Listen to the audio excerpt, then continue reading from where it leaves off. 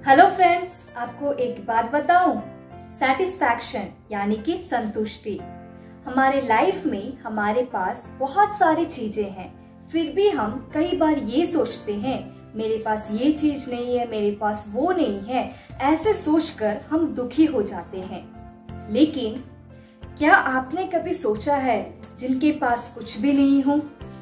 जिनके पास आईज नहीं हो, वो क्या करते होंगे? जिनके पास हैंड नहीं हो, वो किसी वर्क को कैसे करते होंगे? गॉड ने हमें सब कुछ दिया है।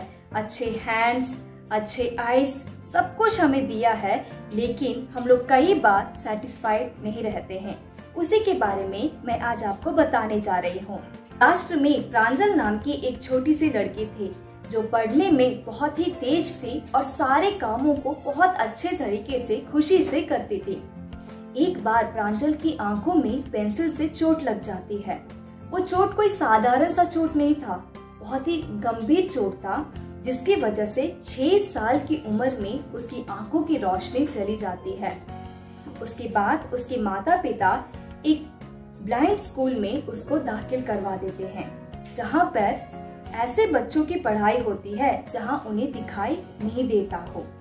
वहाँ पर ब्रेल लिपि में पढ़ाई जाती है। उसी स्कूल में प्रांजल ने बहुत अच्छे मार्क्स प्राप्त करके ट्वेल्थ तक पास किया। उसके बाद एमए की पढ़ाई भी बहुत अच्छे मार्क्स के साथ पास किया। प्रांजल का एम बहुत ही बड़ा था। वो आईएएस बनना चाहते थे। उसके बाद उन्होंने यूपीएससी की तैयारी शुरू कर दी। फ़र्स्ट अटेम्प्ट में उन्होंने 773 रैंक लेकर आया, जिसकी वजह से उन्हें कोई गवर्नमेंट जॉब तो मिला। रेलवे में उन्हें नौकरी मिल रहा था, लेकिन उनकी आँखों में रोशनी न होने की वजह से उन्हें तुरंत रिजेक्ट कर दिया गया। लेकिन फिर भी प्रांजल हार नहीं मानी। वो अपनी लगन के साथ और मेहनत करके पढ़ाई की और नेक्स्ट टाइम उसी एग्ज़ाम को पास किया। वो कितने रैंक से पता है? 124th रैंक के साथ उन्होंने पास किया और उन्हें एर्नाकुलम नाम की एक जगह पर डिप्टी कलेक्टर के रूप में पोस्ट दे दिया गया था।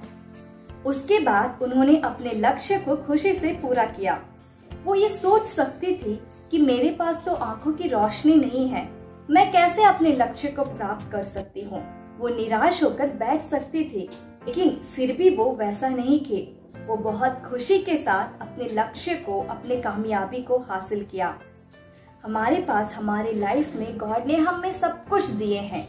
एक अच्छा फैमिली रहने के लिए जगह, पहनने के लिए कपड़ा, खाने के लिए फ़ूड सब कुछ दिए हैं।